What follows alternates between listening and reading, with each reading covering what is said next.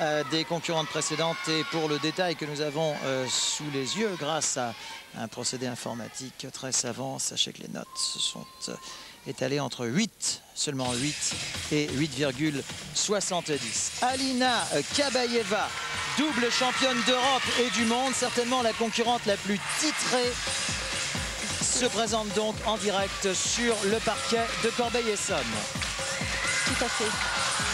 Ah, mon Dieu, première faute. Ce qui n'empêche pas de, ce qui n'empêche pas de conserver un sourire ravageur et craquant. Beaucoup de charme, Alina. Oh oui.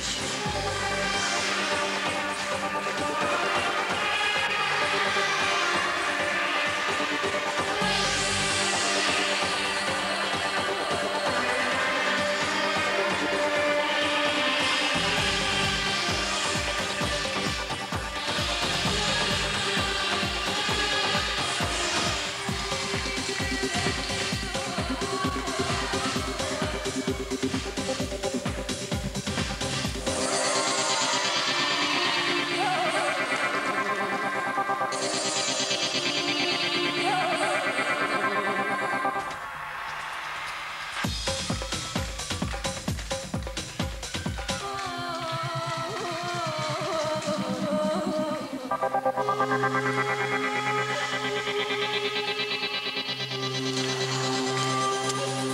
est en difficulté ici. Un enchaînement un peu difficile aujourd'hui. Peut-être un manque de concentration, on ne sait pas. La fatigue peut-être des jours accumulés hier. C'est vrai que cette année, il faut vraiment tenir parce que c'est des enchaînements qui sont beaucoup plus riches au niveau des difficultés, donc beaucoup plus durs physiquement et peut-être un manque d'endurance. On verra, il va falloir qu'elle tienne encore un engin. Et on espère qu'elle va le faire avec beaucoup de talent. Alina qui a terminé troisième aux Jeux Olympiques de Sydney euh, à l'automne dernier. Nous vous le disions, certainement la concurrente la plus titrée est donc légitimement favorite avant euh, que ne démarre ce tournoi.